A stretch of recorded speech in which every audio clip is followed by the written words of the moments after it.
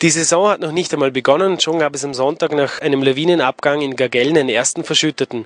Warum sind so viele Menschen leichtsinnig und gehen trotz Lawinenwarnstufe 4 ins freie Gelände hinaus? Das ist auch für uns Bergötter sehr oft sehr schwer nachzuvollziehen. Bei einer hohen Gefahrenstufe, bei sehr groß und groß, sich noch Menschen äh, in steiles Gelände sich begeben. Zum einen kann es die sportliche Note sein, zum anderen auch der Reiz, eigene Grenzen auszuloten.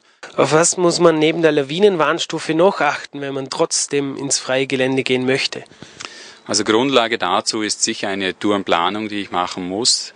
Zur Tourenplanung gehört die Auseinandersetzung mit dem Lawinenlagebericht, mit dem Wetterbericht, mit meiner Gruppe, die mit mir geht. Ich sollte also nicht allein unterwegs sein. Ähm, das Thema Ausrüstung, die Notfallausrüstung, Schaufel, Sonde, Pieps, Erste Hilfe, Biwaksack, Handy, das muss sein muss, einfach wenn man sich außerhalb gesicherter Pisten bewegt.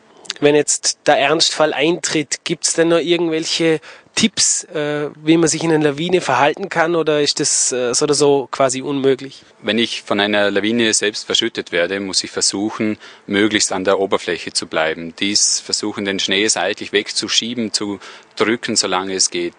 Spüre ich, dass äh, der Schnee mich überrollt und dass ich untergedrückt werde, eine Kauerstellung einnehmen und positiv denken. Also mein Kamerad, der kann mich finden, er hat den Umgang mit dem LVS-Gerät geübt und er findet mich. Vielleicht äh, Atemhöhle mit den Händen machen, nützt das was? Ja, natürlich, das gehört also zur Kauerstellung dazu, die Hände möglichst vor das Gesicht zu bringen.